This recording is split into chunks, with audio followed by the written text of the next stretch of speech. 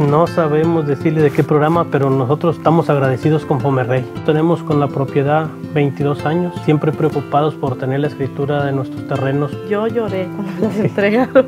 Sentimos una respuesta del gobierno actual. De los anteriores, pues no, no, no sentimos que nos pusieran atención. Como le digo, a lo mejor había un proceso que nosotros desconocemos, Sí. pero nosotros estamos este, viendo la respuesta, quién te la dio. Este gobierno nos cambió la vida. Nuevo León Unido, Gobierno para Todos.